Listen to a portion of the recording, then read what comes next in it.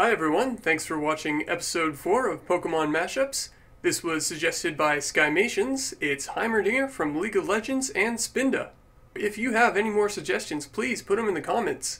Please also like and subscribe and share this with some friends.